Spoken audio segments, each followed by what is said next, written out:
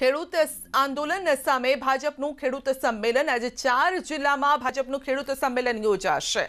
CM Rupani ચીખલીમાં ખેડૂત સંમેલનમાં હાજર રહેશે. કેન્દ્રીય મંત્રી પુરુષોત્તમ રૂપાલા પણ મહેસાણામાં રહેશે. ભૂપેન્દ્રસિંહ ચુડાસમા ભુજમાં ખેડૂતોને સંબોધશે. જેતુ વાઘાણી કેશોદમાં ખેડૂત સંમેલનમાં હાજર રહેશે.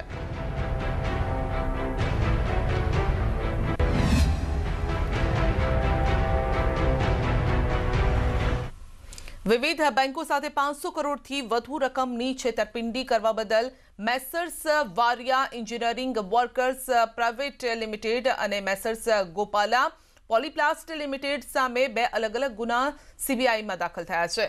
મેસર્સ વારિયાના સંચાલકોએ બે હજાર તેરથી સત્તર દરમિયાન વિવિધ બેંકોમાંથી લોન તેમજ ક્રેડિટ ઓવરડ્રાફ્ટ લઈ સરકારી કર્મચારીઓની મદદથી દસ્તાવેજોમાં ઘાલમેલ કરી કુલ ચારસો બાવન પોઈન્ટ બાસઠ કરોડની ઠગાઈ કરી છે.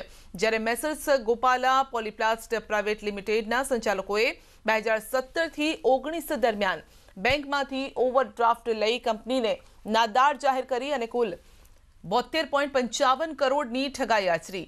તો બેંકના ફોરેન્સિક ઓડિટ દરમિયાન ધ્યાને આવ્યું હતું કે આ ખાનગી કંપનીના ડાયરેક્ટરોએ બેંક ખાતામાં ઘાલમેલ કરી લોન પ્રોસેસમાં ફેરફાર કરી કરોડો રૂપિયા લઈ બેંક સાથે વિશ્વાસઘાત અને છેતરપિંડી આચરી હતી.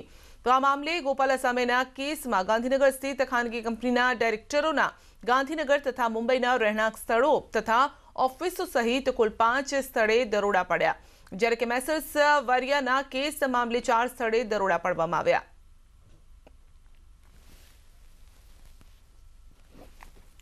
તો અંગે જ વધુ માહિતી મેળવીશું ન્યૂઝ એટીન ગુજરાતીના સંવાદદાતા હરમેશ પાસેથી. જી, હરમેશ, આ મોટી ઠગાઈ સામે આવી છે. શું અપડેટ આ મામલે?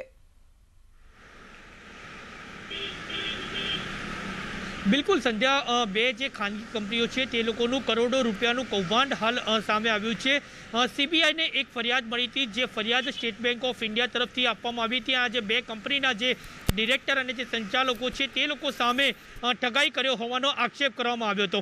વાત કરવામાં આવે તો આ જે બંને કંપની છે, તેમાં વરિયા નામની જે કંપની છે, તે કંપનીએ આજે બેંક છે, તે બેંક પાસેથી લોન લીધી હતી અને લોનની સાથે સાથે ક્રેડિટ રકમ પણ મેળવી હતી અને ત્યારબાદ આ જે રકમ છે, તે ચૂકવી ન હતી.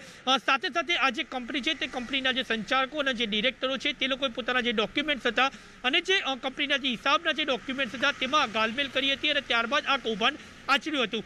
જે વરિયા કંપની છે તે વરિયા કંપનીએ સાડા ચારસો કરોડથી વધુની રકમનું કૌભાંડ છે તે કૌભાંડ કર્યું હોવાનું સામે આવ્યું છે અને જેના આધારે સીબીઆઈ દ્વારા અમદાવાદ, ગાંધીનગર અને મુંબઈ સહિતની તમામ જે ઓફિસો અને જે ડિરેક્ટરોના જે ઘર છે તે જગ્યાઓ ઉપર સર્ચ ઓપરેશન હાથ ધરવામાં આવ્યું હતું. બીજી તરફ જે ગોપાલા પોલીપ્લાસ્ટ પ્રાઇવેટ લિમિટેડ જે કંપની છે તે કંપની દ્વારા પણ ઓવરડ્રાફ્ટ લેવામાં આવ્યા હતા અને ઓવર ઓવરડ્રાફ્ટ લીધા બાદ પોતાની કંપની જે કંપનીને નાદારી બતાવી અને ત્યારબાદ આ જે બેંક છે તે બેંક સાથે બોતેર કરોડથી વધુનું, વધુની છેતરપિંડી આચરી હતી.